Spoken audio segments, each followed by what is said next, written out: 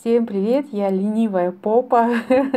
Недели полторы, наверное, назад еще дочитала книгу Фрэнсиса Элизабет Бернет, совершенно изумительная, называется «Маленькая принцесса».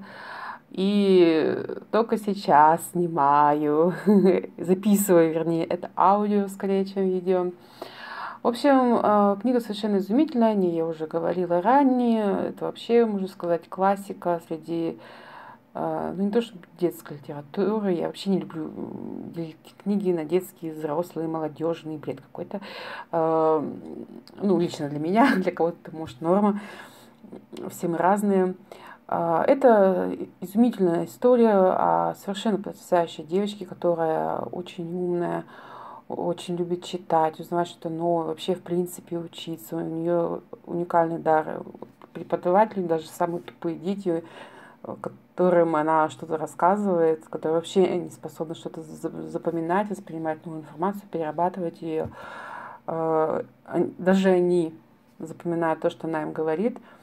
И если поначалу она на правах это как принцесса, потому что она дочь богатого человека, и приезжает в школу учиться, то есть это не такая школа, как у нас, что утром ушел, в обед, я не знаю, примерно, вернулся.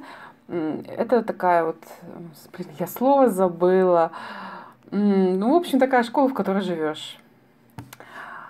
И, и вот то, как ее отношение к социуму там менялись, когда несколько изменилось ее исходное положение. Богатой девочки очень популярной, красивой, успешной, умной и неповторимой. Все это, конечно, очень э, хорошо, очень прекрасно. Вы знаете, я помню, я помню, как я покупала эту книгу. У нас в городе есть такой магазин, называется Кругозор.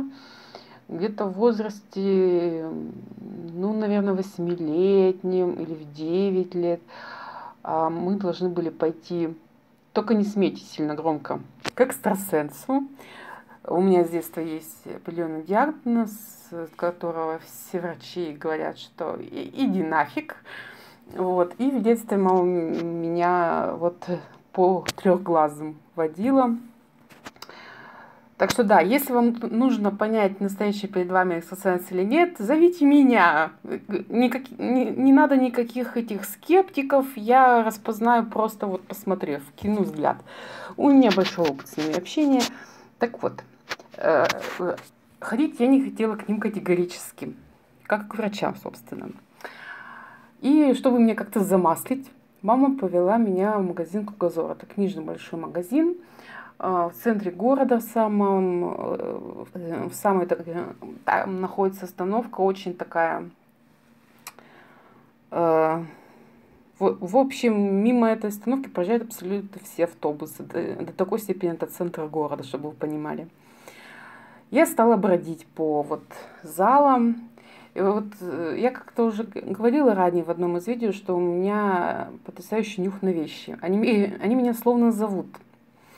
И меня позвала одна конкретная стенка, вот эта жерка, э, наполненная книгами.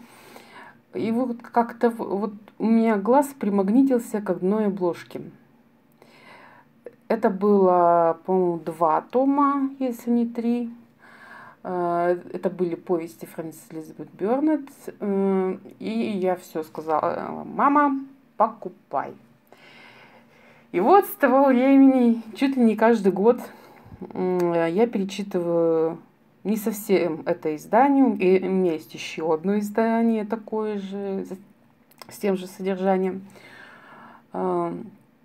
И вот я достаточно часто в своей жизни перечитываю эти истории. Это был мой, наверное, из всех выборов в жизни, из всех приобретений, самое удачное, успешное, которое вот до сих пор сказывается, наверное, можно так выразиться.